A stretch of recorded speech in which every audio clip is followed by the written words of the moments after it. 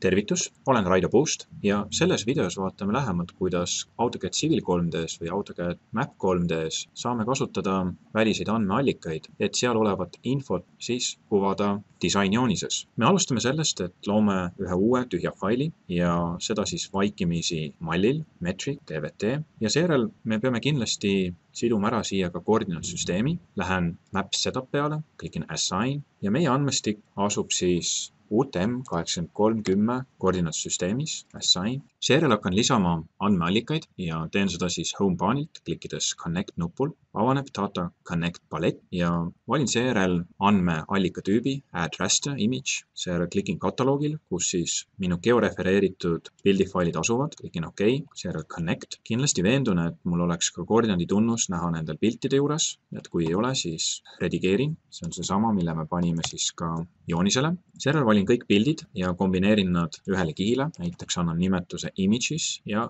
add to map. nüüd ma peaksin nägema, et minu joonisele tulevad siis aerofotod ja seda siis sarnaselt nagu ka varasemates näidetes, lihtsalt allikas on teistsugune. uuesti data connect ja nüüd liigun add STF connection peale, ehk siis selle kaudu on mul võimalik sisse tuua neid samu STF faile, mida me ka eelnevates videotes oleme välja eksportinud, aga seda siis nüüd siinsamas AutoCAD Map 3D-s või Civil 3D-s. kui olen valinud, jätan vaikimisi nimetuse ja klikin faili valimise nupul ning seejärel jällegi navigeerin asukohta, kus siis see fail paikneb, selleks on SitePlan Map 3D Parcels ja Open, klikin Connect, koordinaatsüsteem on küljes, ütlen Add to Map ja ma peaks nägema nüüd ka, et minu kruntide plaan on koos aerofotodega õigesti koordineeritud. seejärel on mul võimalik panna siia peale ka stiil, ehk siis kui ma Data Connect paleti sulgen ja kasutan seejärel käsku näiteks Map Westbase, et kuvada task pane, siis ma näen, et mul on omaette read Map Base lisaks piltide kohta ja lisaks siis ka kruntide kohta. SitePlan Map 3D Parcels